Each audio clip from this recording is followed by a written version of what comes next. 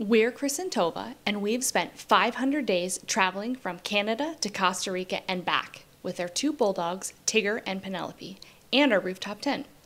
Find out what we loved and hated, what made us laugh and cry, and our favorite campsites along the way. So we've been traveling the last 500 days. What have the things been that you loved the most about the trip? The the animals and the birds, and like each country's very diverse. Like it's very different in each country. The landscapes, the, the volcanoes, the waterfalls, the hills, all that. Sampling all the food that uh, each country has, like pupusas, and of course the the coffee. Even though uh, I'd have to go and say that Costa Rica's coffee was the best so far, but every country has a different flavor and taste like El Salvador and Nicaragua were really good coffees as well. I think the things that I liked the best was just being able to be outside and be in nature so much, so many beautiful things, like Chris said. Of course, campfires. I always want to have a campfire if we can, even in the rainy season. Chris would be out there lighting up the campfire with the wet wood. I liked I liked being able to spend so much time with Chris and Tigger and Penelope. That's been a real a real blessing, a real treasure. And just like I feel like throughout the last 500 days, we really had the opportunity to explore off the beaten path in a lot of these countries. So we didn't just go to places that people go if they're on vacation, like the big tourist spots. We did hit a few of those places, but we got a lot deeper into a lot of the countries and got to see like some really beautiful things that you wouldn't just happen upon if you were coming for a week. So what was your favorite wildlife on this trip? The toucans that we saw in Costa Rica. And they came really close to us too. Yeah, you got some really good photos and it's like they were posing. I'd have to say the sloths and there was uh, one camp in particular we got really close to this one sloth and he was just like going through his whole morning routine and he was like stretching and scratching his belly and it was just really awesome to be able to not only see it but also to actually capture it on film at the same time because those sloths can be pretty elusive and they can be pretty hard to spot. They often just look like a fuzzy cat sleeping up in a tree visited a lot of different countries and you sampled all the different local beers from there. So what were your favorite beers from each country? Well, in Costa Rica, it have to be Imperial. Like that's their the number one beer in Costa Rica. Uh, in Nicaragua, of course, it's Toña. In El Salvador, and actually in Guatemala as well. It was El Dorado. Which means the gold. The gold. Gold or golden. In Mexico, ironically, Victoria is not the same Victoria in Nicaragua.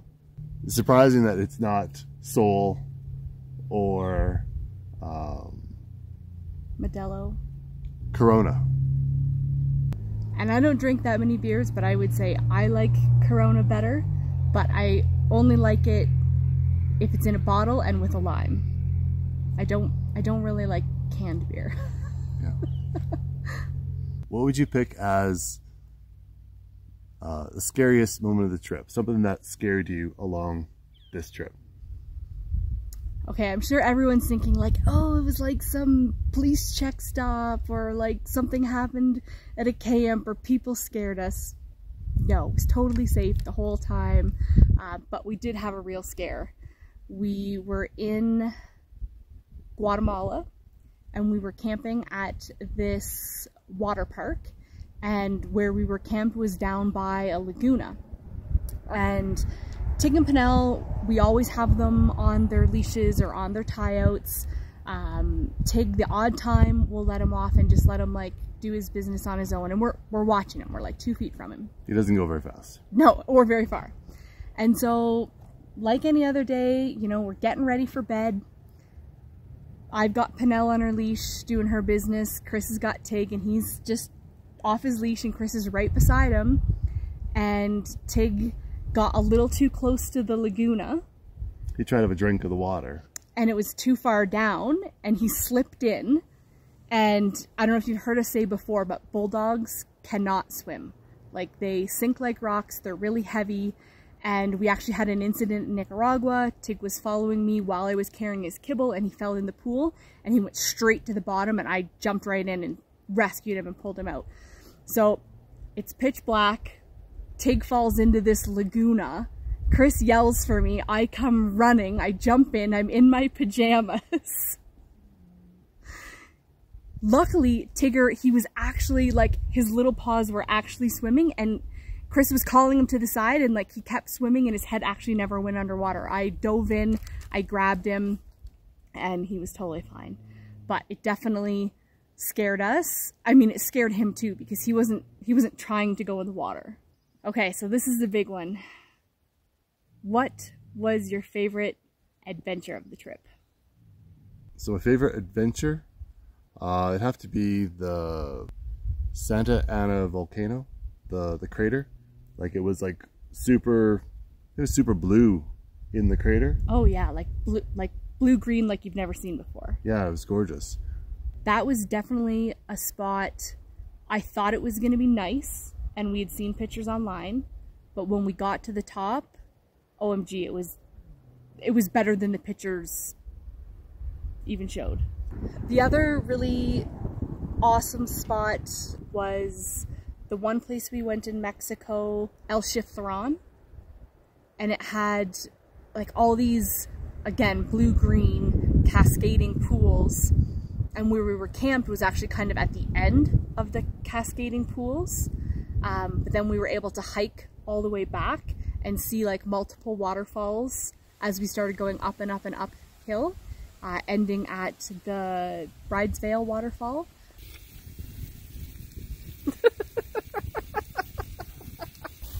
So what was your favorite food over the last 500 days? Because there's different types. Like, I mean, we had different kitchens, we'll say. We had like a camp kitchen. We had a kitchen at Airbnbs. And then there was prepared food at like restaurants. So my favorite camp food that we cooked in camp would be macatak. What's your favorite camp cooked food? Favorite food cooked in camp? I mean, macatak is pretty good. One of our favorites for sure. Um, I would say probably butter chicken from scratch is my my favorite food that we've cooked in camp. My favorite Airbnb food. I mean, I loved making pierogies over Christmas. So uh, those were super delicious because they're handmade at Airbnb by us. So the pierogies were pretty awesome, and especially Christmas pierogies, because that's tradition. Yeah, I mean, pierogies are always, always a favorite. I love making pierogies. Um, they're really fun to make, and it is our Christmas tradition. So we only did a small batch because we weren't taking any with us. Prepared foods like a restaurant. It was more like a takeaway. So it was uh, pupusas. And I would have to agree with Chris, the pupusas in El Salvador. Um, we did have some pupusas in Costa Rica, and they were good, but they weren't the same as the pupusas in El Salvador. Like just to go to a little food stall and, um, or like a little roadside stand and like get pupusas, really awesome. I'm definitely gonna learn how to make pupusas. It's on, it's on my to-do list. But if anyone's got any good tips or an awesome recipe. I've looked a few up online, but you know, it's always good to have somebody's recipe from their abuela that's, you know, tried and tested. So while we were on our 500 days of travel through, um, well, really North America and all of most of most of Central America, uh, we only went as far as Costa Rica. We met so many nice people, so many nice foreigners. We had a lot of great exchanges and chats and you know people helping us along the way and just like so many good positive experiences uh, with local people. That was one of the, the highlights of the trip. Probably one of my favorites or one of my best encounters. House in El Salvador. And a kind of funny story how we ended up at this house. We actually made some friends at a campsite and he was originally from El Salvador but has since moved to Texas. And it was his old house and he's like hey you should you know stay at my old house. You know I know the owner. And so he set it all up for us and we went to the house. It was amazing. But um, at the house so they have like a housekeeper and she was there and she was like super nice and just like friendly trying to like help us out help us unpack and she made some food for us and really nice coffee and anyway, I'm just chatting with her, and you know, she's telling me that she's got two kids, and you know, yada yada yada. And so we were there for a couple of days, and it was, uh, I think it was the last day we were there. Um, she'd come in the morning, and then we were just chatting about her kids, and she's like, "Oh, would you would you like to meet my kids?" I said, "Oh, sure, yeah." She's like, "Okay, well, let's." Um, she's like, "Okay, well, let's let's go to my house. Like, I don't live far from here. We can just walk." Okay, so off I go. We get to her house, and she definitely, you know, lives in a very modest, modest local house. I met her two kids. They were really friendly, like, chatted with them for a couple of minutes, and she showed me around the house. And, you know, they really don't have a lot, but they're really happy people, really proud people, and they have chickens at their house. And, you know, I noticed in the kitchen that they really didn't have a lot of food, but they did have like a couple of fresh eggs. And I didn't say anything, but before we left the house, she's like, "Oh, I I'd like you to have these these two eggs. Like I want to give them to you as a gift." And I, you know, in Spanish said to her like, "Oh, I I really I can't take these." And I just thought it was so sweet that she was offering me like the two eggs that she had as a gift and I could see that they really didn't have um, very much food at all. So there's no way that I could take the, their last two eggs. Like, um, so anyway, we went back to the house, and and of course before we left, we we gave her some food and stuff to take back home with her, some soups and granola bars and just some stuff like that. And she was really appreciative. But just the fact that you know she invited me to her house, and clearly they don't have a lot, but she was wanting and willing to, to give us what she had. And I just thought that was very special. What about you, sweetie? What was what was an encounter that stuck out in your mind in the last 500 days? We were at, I think it was called like the lagoon. I don't know what exact location it was. It was a lagoon of some sort. And read online, or we saw videos online, that all around the lagoon, people mistake it for being like hard ground, but it's actually like soft. When you uh, park on it, the weight of your vehicle, you, you'll slowly start sinking. And then later on that night, when Todd was cooking supper, there was a vehicle that went down to and watch, I guess, the sunset or watch something. And I'm like, oh man, you know, good thing it's a fairly light Jeep, like a a Cherokee, uh, Jeep Cherokee. But when they went to leave, they backed up and instantly realized they're stuck. So they went forward, backward, forward, backward. They were stuck. They sunk all the way to their chassis. So this Jeep is stuck. they're trying to get out. Well, some locals pass by and they're like, you know, trying to help push it out, push it out. Couldn't push it out. Then came this giant two and a half ton truck.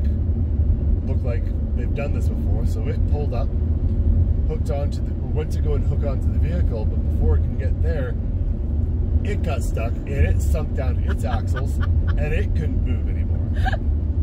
So the recovery truck is now stuck. and it was almost like a perfect Nissan commercial. Well, if Nissan zips over and it pulls out the two and a half ton truck, no problem. Yeah. Boom, that two and a half ton truck out, not a big deal. It backed away, it's in the safe zone now, and Nissan's still to the rescue to go and help out this Jeep Cherokee. So the two and a half ton truck, don't know where it came from, but they were willing to help. Mhm. The Nissan was willing to help. There was a whole soccer game going on that they stopped the soccer game and they came over to go and help pull out these vehicles. Everyone passing by was, in- the muck trying to pull dirt away, trying to go make tracks, throw down rocks, throw down, you know, logs for things to for them to drive onto, get new rope. Overall, just a nice, uh, kind, generous, willing to help, drop everything, you know, drop everything and help these poor people out. Um, that was it was really nice. Yeah, I would say down in, in Central America, the people are so nice. And I mean, we say that we're from Canada and everyone says Canadians are so nice, and, and we are nice. But I, I think it's a different level of nice. Like everybody here wants to help you, everybody wants to say hello and wave and smile. Um, you know, I do sometimes find at home, like I'm walking down the street past somebody and I smile at them and like they don't even look your way sometimes. And you're like, where here, like you pass somebody, you say hello, you wave, like you know, someone's driving down the road. If you're stopped, like they they give a wave. They want to check to make sure like you're okay. Should I keep on driving or do you need help? Like, yeah, it's just it's a different level of kindness. I think it's it's really nice. So we told you what we loved. Now we'll tell you what we hated about the trip. And first, I would say hate is a really strong word. I don't think we hated anything. But if I had to pick something that maybe like disliked a little bit, it would have to be the bathroom situations. You just never knew what you're going to get yourself into. So, is there a toilet seat? Is there not toilet seat? Is there paper? Is there not paper? How clean is it?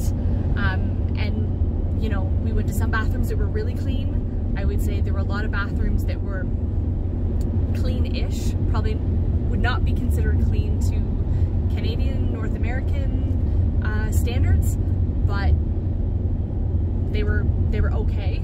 Um, and then we were also at some places that the bathrooms were really nasty, and you know you'd probably rather just find a tree or bush somewhere.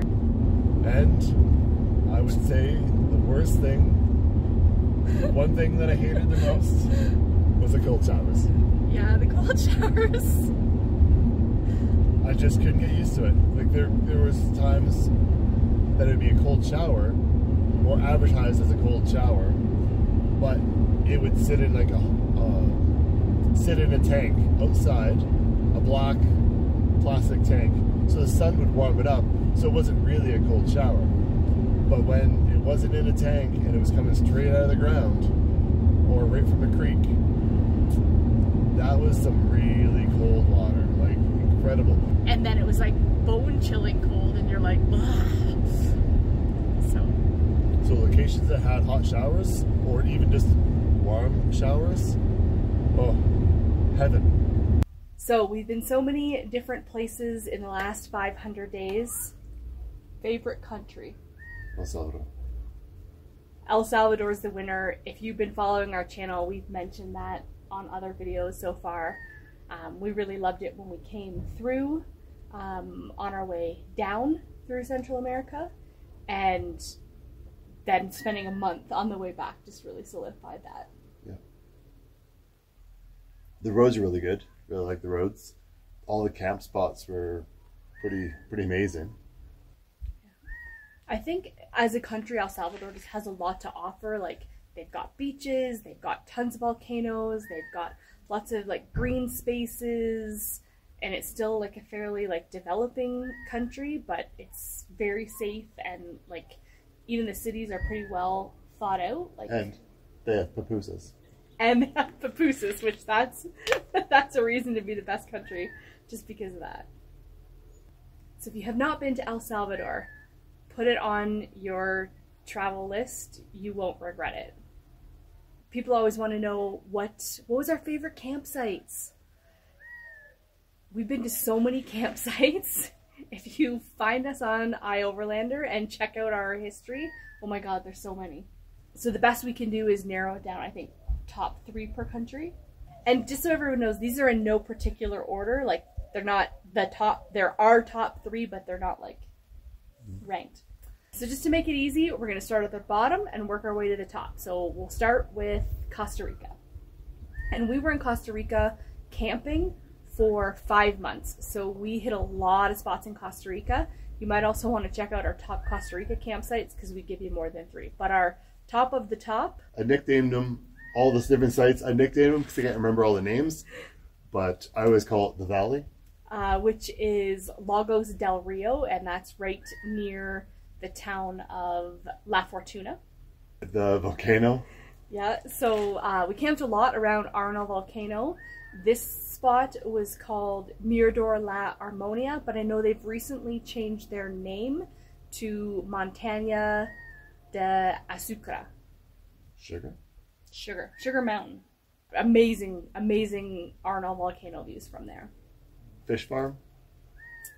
So we visited more than one fish farm, but the one that he's talking about, it's called Turin Gardens, and it is very close to Monteverde. It's a great location if you want to do a lot of other tourist activities in the Monteverde area, like zip lining and cloud forests and suspension bridges. And if the if that's your thing, there's a lot of that in that area, so it'd be a good good spot to camp and check out the activities.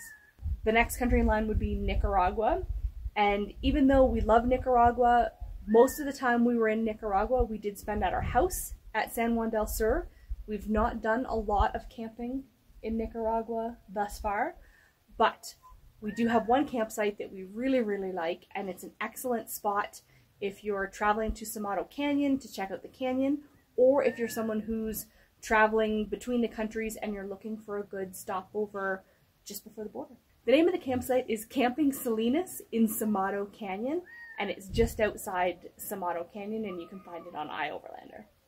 Okay, which country's next on the list? It would be El Salvador. Because we never stayed in Honduras.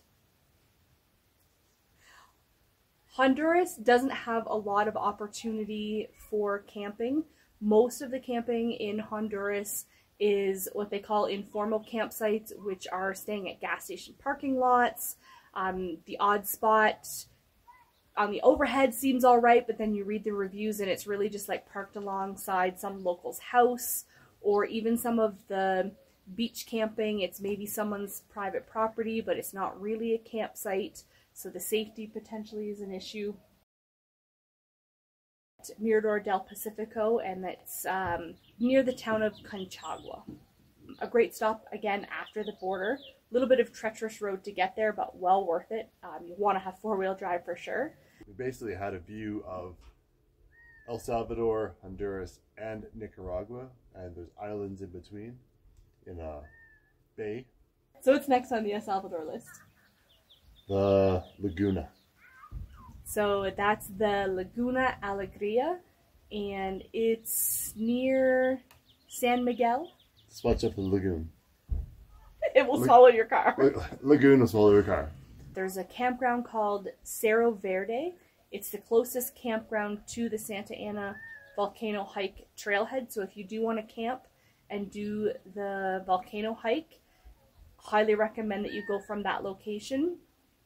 They do do rentals of camping stuff, I mm, believe, yeah. as well. So if you were maybe traveling, but you were like, oh, I'd like to do the hike and it'd be kind of fun to go and camp for a night or two, they do offer everything there. Okay, so after El Salvador, we headed into Guatemala. And so our top three camping spots in Guatemala are Lake Atlan. so in Lake Atitlan, I'm going to say it properly, Atitlan, as people have corrected me a few times. Atitlan. Atitlan. I just blend it all together. Um, Lake Atitlan, so it's actually a spot that we've camped at. This was our second time camping there.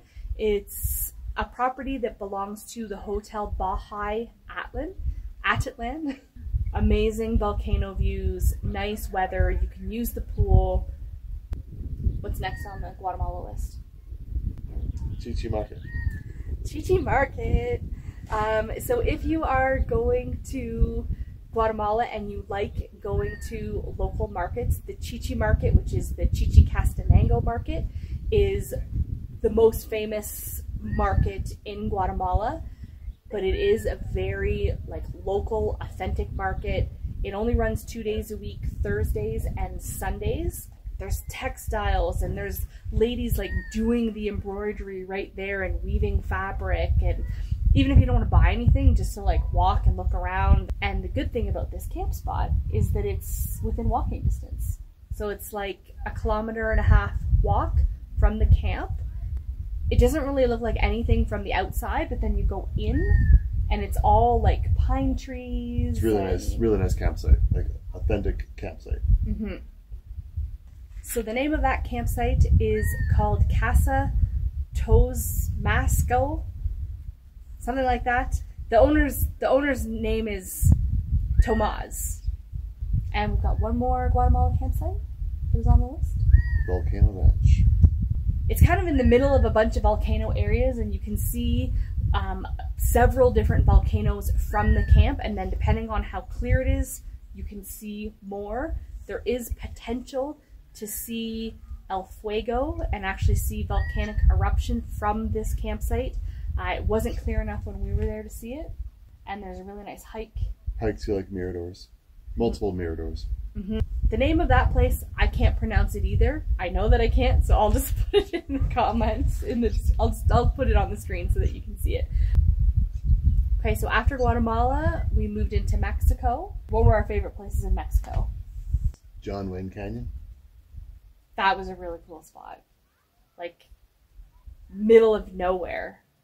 About 45 minutes outside of Durango, down through, what is it, three Three cattle gates. Just surrounded in this horseshoe canyon. It's just, it's absolutely gorgeous. And that's where they shoot like John Wayne, like movies, like westerns. westerns. They've got like old western villages there. They've got all kinds of like um, movie sets. El Chiflón, and they have multiple waterfalls. That's the biggest one, but Mhm. the, the last one of the Cascades. But it basically starts from that waterfall, and then it just like waterfall after waterfall, just like cascading one down into the next, and it's like maybe hour and a half hike to get to the top, maybe not even. Not even. And the water is like bright, bright, bright, clear blue Cold. and cold, freezing cold. Mexiquillo. Mexiquillo, yeah. Mex- and this this place actually was a huge camping area as well. Yeah. Like we asked like where's the camping area and they're like you can go anywhere you want. And then we start driving in there and you're like, "Oh my god, this place is huge." And then we were hiking around, like even bigger. We get there the first night, we're sleeping, and then Chris wakes up. He's like, "Tove, I think there's puppies outside the tent." And I'm like, "Puppies? What do you mean puppies outside the tent?" No, there was like a baby puppy outside the tent, like he probably was seven, eight weeks old. Yeah, he was still he was still getting milk from the mom. That's how young he was.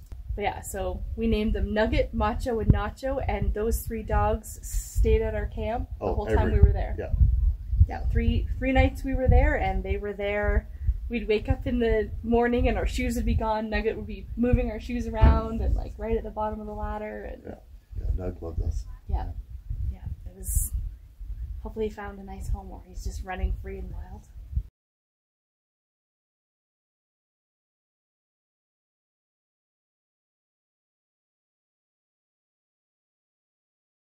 Mexico, we found had so many great campsites. Like everywhere had good campsites, but Mexico, we couldn't narrow it down to three. So we're giving you four, and even then, that was a really hard list. Rancho San Lorenzo. Hot, hot showers and white fluffy towels. And the crazy thing is, is this place is in the middle of nowhere. Like two hours to get to this place. Like from any, like the closest thing is two hours away. And it was advertised as cold showers. And then we get there, and in Spanish, she's telling me hot showers. And then he brings us these white fluffy towels and soap like we're at a hotel. And the camp area, like a real camp area, we were right in the forest. Yeah, lots of fallen trees that we were able to chop up and have nice campfires. Yeah. And there was like we were the only people there the whole time we were there. Like we never saw a soul. We would also say that Mexico's so big, like we really only scratched the surface still. So we in all our travels we went down the east coast, kind of came across the middle, and then into Guatemala that way, and then coming back through. We pretty much went up through sort of the middle of Mexico all the way up. Thank you. The adventure is not over. We have loads of video content from this trip still to come. We're spending the summer in Canada visiting family, and then we're heading back on the road. Thanks for watching, and we'll see you on the next amazing adventure.